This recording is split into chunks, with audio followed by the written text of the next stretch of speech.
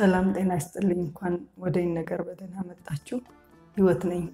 ዛሬ ከይነገር መጽሐፌ ላይ ከሶስተኛው ክፍል ውስጥ በአስመሳይ ሰው ተጽዕኖ ስር መኖር በተደበቀ የድብርት ስሜት ወይም ሂድን ዲፕሬሽን እንድንጠቃ ያደርገናል የሚል ርዕስ አነብላችኋለሁ።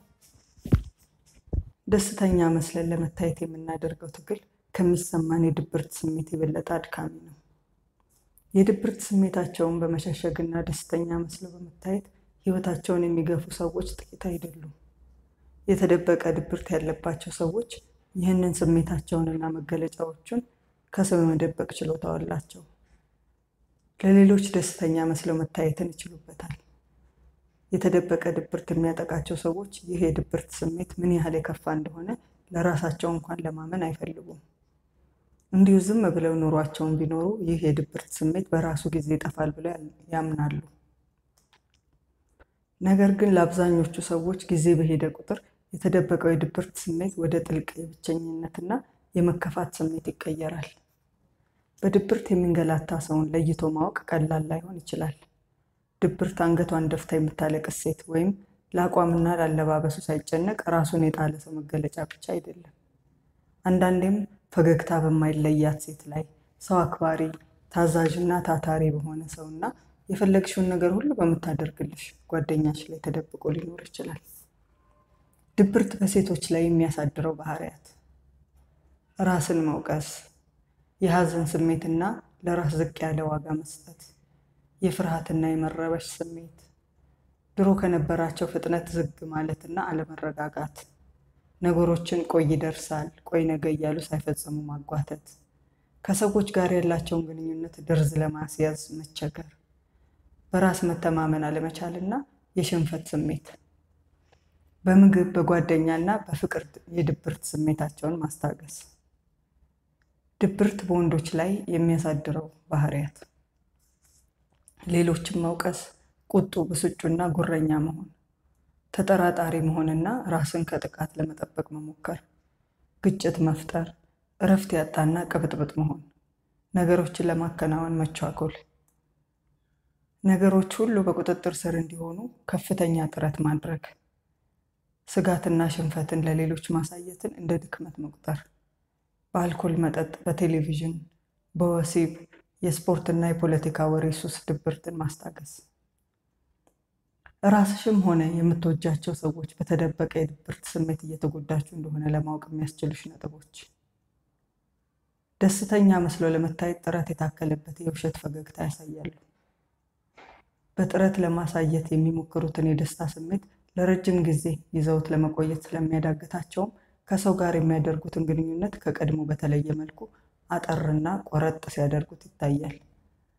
ጓደኛሽ ከወትሮዋ በተለየ ከሸሸችሽ እና ግንኙነታችሁን ባልተለመደ መልኩ እጥር እያለብሽ ከመጣ እያገለለችሽ እንደሆነ ሊሰማሽ ይችላል። ነገር ግን ለዚህ መነሻ ምክንያቱ ከአንቺ ጋር ምንም ግንኙነት የሌለው የተደበቀ የድብርት ስሜት ሊሆንም እንደሚችል ማወቁ ለግንኙነታችሁ መልካም ነው። በተደበቀ ድብርት የተጎዱ ሰዎች ደስተኛ እንደሆኑ ራሳቸውን ለማሳመን ይሞክራሉ። ግን በአጠቃላይ ያሉበትን ሁኔታ ሲመለከቱ የሚያስደስታቸው ነገር አያገኙም። በውስጧ የሚሰማትን ስሜት ገሸሽ አድርጋ በጥረት ፈገግ ለማለት የምትሞክር ሴትን በተመለከትኩ ቁጥር እኔ በድብርት ተውጬ የነበርኩበትን ወቅት ስለሚያስታውሰኝ አንጀቴ ይላወሳል። በተደበቀ የድብርት ስሜት ውስጥ ያለች ሴት ለምታምነው ሰው፣ ለሃይማኖት አባቷ ወይም ለስነ ልቦና ባለሙያ ስሜቷን አውጥታ በመግለጽ ብትማከርና ያለችበትን ሁኔታ ሙሉ በሙሉ ተቀብላው ቀና ብላ መኖር ብትጀምር አብዛኛው ሸክሟ ሊቀልላት ይችላል። በቀጣይም ተረጋግታ ሕይወቷን ማስተካከል እንድትችል ይረዳታል።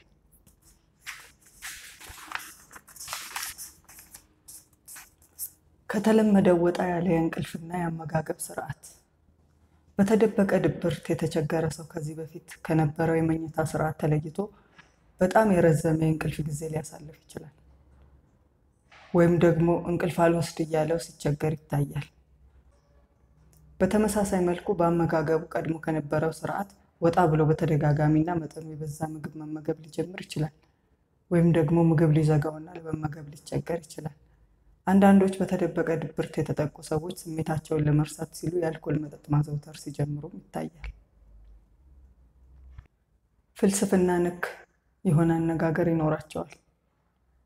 ለምሳሌ ድሮ ስለ ስሜቷና ስላሳለፈችው ጊዜ ተርካ የማይበቃት ፍንክንክ ጓደኛች ስለ ኑሮዋ ቀጥተኛ ነገሮችን ማውራት ትታ ስለ ሕይወት ትርጉም፣ ስለ ሃይማኖታዊ መርሆዎች፣ ትዳር በመቻቻል ላይ የተመሰረተ ስለመሆኑ፣ ልጅ ከወለዱ ወዲያ ለእኔ ማለት ይቀርና ለልጆች መኖር ይጀመራል እና የመሳሰሉ ዙሪያ ጥምጥም የሆኑ ቀጥታ ያልሆኑ ርዕሶችን እያነሳች ልትጫወት ትችላለች። እርዳታን ለመጠየቅ ከሞከሩ በኋላ መልሰው ይተውታል። በተደበቀ ድብርት የተጎዱ ሰዎች ድብርታቸውን ደብቀው ለማቆየት የሚቸገሩበት ጊዜም አለ። በዚህ ጊዜ የሚሰማቸውን እውነተኛ ስሜት ለሌላ ሰው ገልጸው ሊያወሩ ይችላሉ። ነገር ግን መልሰው ሲያስቡት ማውራት የሌለባቸውን ነገር እንዳወሩ ይሰማቸውና እርዳታ ለመጠየቅ የነበራቸውን ሀሳብ ይቀይራሉ። ችግራቸውን ገልጸው ማውራታቸው ራሱ የድብርት ስሜት እያንገላታቸው መሆኑን አምነው እንዲቀበሉ ስለሚያስገድዳቸው ይሸሹታል። ይህንን ድክመት ሰው እንዲያይባቸው አይፈልጉም። ከወትሮ የተለየ ስስ ስሜት ይኖራቸዋል። የድብርት ስሜቱን የደበቀ ሰው ሌሎች ስሜቶቹ ተጋነው ሊሰሙት ይችላሉ። ለወትሮ የማይቆጣው ሰው በሆነ ባልሆነ ቁጡ ይሆናል። በፊት ቀብር ላይ ቆማ እንኳን እንባዋ የማይመጣላት ሴት በቴሌቪዥን ባየችው ብዙም ስሜትም የማይነካ ፊልም ስቅስቅ ብላ ልታለቅስ ትችላለች። ዝምተኛና ስሜቱን የማይገልጥ የተባለው ሰው ፍቅሩን በአደባባይ ሊያውጅልሽም ይችላል። ድብርትን አፍኖ መያዝ የሌሎች ስሜቶቻችንን መቆጣጠሪያ ብሎናችንን የማላላት አቅም ሳይኖረው አይቀርም። ነገሮችን ከተለመደው ዝቅ ባለ ቀናነትና ደብዘዝ ባለ መልኩ ሊመለከቱት ይችላሉ። ከድብርት ነፃ የሆነ ሰው ነገሮችን በአብዛኛው የሚመለከተው ብሩህ በሆነ አስተሳሰብ ነው። የሚገጥሙትን መሰናክሎች አንድ በአንድ በቀናነት እያቃለለ ሲጓዝ ይታያል። በተደበቀ ድብርት የተጠቃ ሰው ግን ነገሮችን ከሆኑት በላይ አክብዶ ሊያያቸው ይችላል። አንድ ሰው ከድብርት ነፃ በሆነበት ወቅት የሚገጥመውን ነገር የሚያይበት አይኑ እና በድብርት ውስጥ ሆኖ ያንኑ ነገር የሚያይበት አይኑ ይለያያል። ራስን ማግለል እና በሚያስከትለው የብቸኝነት ስሜት መልሶ ቅር መሰኘት በተደጋጋሚ ድካምን ወይም ስራ መብዛትን ምክንያት በማድረግ ከማህበረሰባዊ ኑሮ እና ከሌሎች ግንኙነቶች ራሳቸውን ያገላሉ። በውጤቱ በሚሰማቸው የብቸኝነት ስሜት ግን ደስተኛ አይሆኑም። ስለ ራሳቸው የሚሰማቸው ስሜት መቀየር ስለ ራሳቸው የሚሰማቸውን ስሜት ቀድሞ ከነበረ ስሜታቸው ጋር ሲያነጻጽሩት የቀድሞ ማንነታቸው ብሩህ ሆኖ ሲታያቸው፣ የአሁኑ ማንነታቸው ግን ተስፋ ቢስና ጨለምተኛ ሆኖ ይታያቸዋል። ስለ ወደፊት ሲያስቡም ድፍን ይልባቸዋል። በትዳር ውስጥ ሆነሽ የተደበቀ የድብርት ስሜት እያንገላታሽ ከሆነ የድብርትሽ መንስኤ ከትዳርሽ የመነጨ ሊሆን ስለሚችል ምክንያቱን ለይተሽ ለማወቅ ሞክሪ። እነዚህ ምክንያቶች በትዳር የመጣ የድብርት ስሜት መንስኤዎች ሊሆኑ ይችላሉ።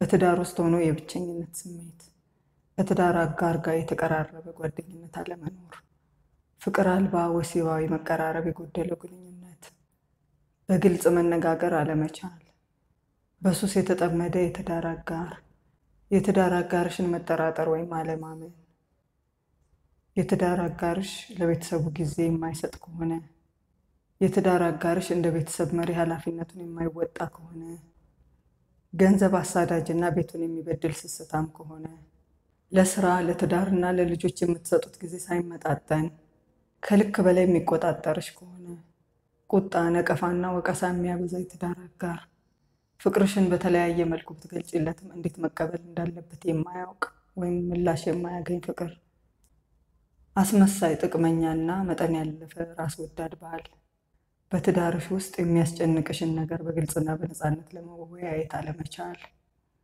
ሁልጊዜ የሚሰጋ ያዘነና የደበረው ባል፣ በጠና የታመመ የትዳር አጋር፣ ገንዘብን በተመለከተ የሚፈጠር ስጋት፣ በራስ መተማመንሽ ከምትሰሪው ስራ ካለሽ ገንዘብ ወይም ደግሞ ከውበትሽ ጋር ብቻ የተያያዘ ከሆነ ማለትም በራስ መተማመንሽ ክቡር ሰው በመሆንሽ ላይ የተመሰረተ ካልሆነ ለዚህ ለተደበቀ ድብርት ስሜት ሊያጋለጥሽ ይችላል። በትዳር ውስጥ ለሚገጥመን የድብርት ስሜት እነዚህ ብቻ ሳይሆኑ ሌሎችም ምክንያቶች ሊኖሩ ይችላሉ። የዛሬውን ርዕስ እዚህ ላይ ያበቃው። የሚቀጥለው ርዕስ የሚሆነው ልጆቻችን አስመሳይና መጠን ያለፉ ራስ ወዳድ ናርሲሲስት ሆነው እንዳያድጉ እንዴት ልንረዳቸው እንችላለን የሚል ነው።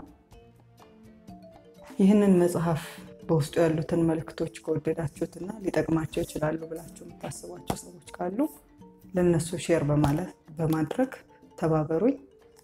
የዛሬውን እዚህ ጋር በቃው። ሰላም ያገናኘን። ደህና ዋሉ። ደህና ከረሙ።